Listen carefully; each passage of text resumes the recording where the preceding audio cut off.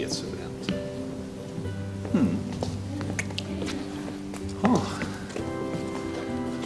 Ja, det är alltså här vi kommer att vara nu i november och december. Riktigt häftig känsla. Det här kommer bli mäktigt. Det här må ju vara en av de vackraste teatrarna i Sverige. Alltså vilken feelgood, vilken känsla. Och bara se ut över stolarna, det är en otroligt inbjudande. Ja. Samtidigt som det är väldigt eh, intimt. Ja. Här ska vi också fylla två kvällar med 800 personer i en känsla av att må bra och bekräftelse och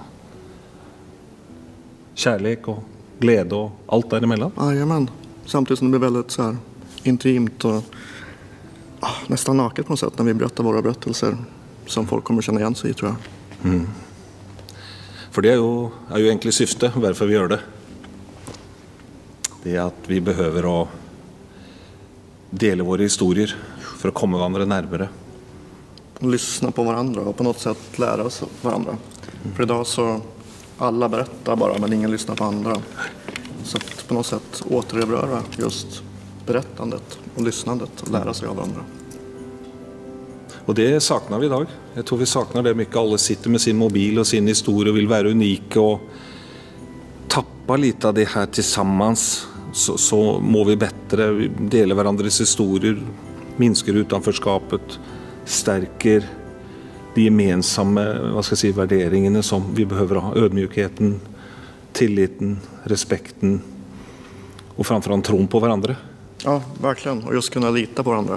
Att på något sätt utvecklas genom varandras berättelser och våga vara sig själv. Det tror jag är en av grundpoängerna med det här. Så. Ja, det är, och det är hemmaplan. Det är eh, vår stad.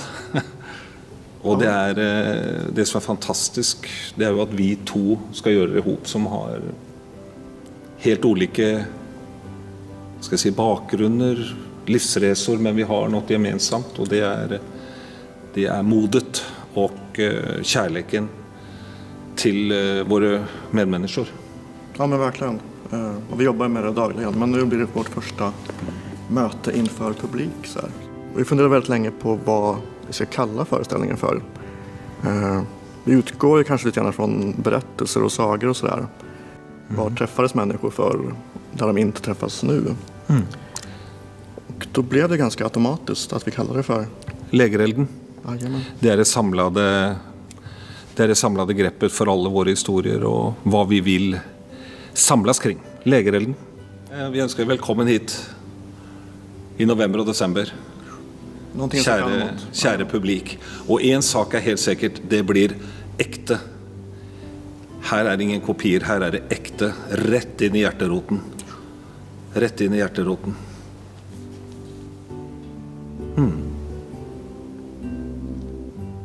Ja. Ja.